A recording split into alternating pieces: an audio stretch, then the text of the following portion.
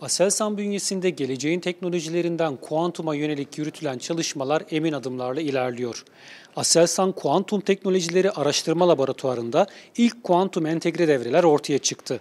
Geliştirilen çözümler haberleşme, algılama, bilgi sistemleri ve kriptoloji gibi bir dizi alanda yüksek performanslı ürünlerin geliştirilmesini sağlayacak. Laboratuvarda yürütülen çalışmalarda termal gürültülerin etkisini en aza indirmek için mutlak sıfır sıcaklığa yakın koşullar oluşturuluyor.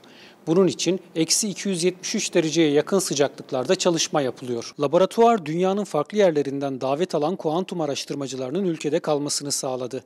Yurt dışında bu alanda çalışma yürüten bazı Türk bilim insanları da ülkeye dönüşü gündemine aldı.